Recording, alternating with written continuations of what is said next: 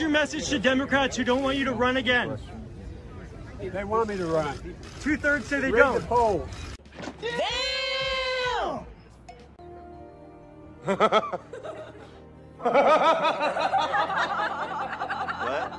Read the polls, Jack. You guys are all the same. That poll showed that 92% of Democrats, if I ran, would vote for me.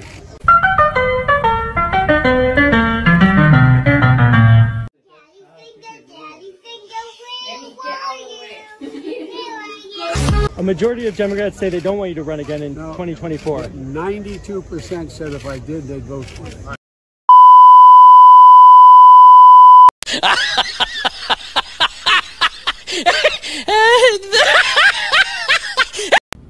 No! God, please, no! No!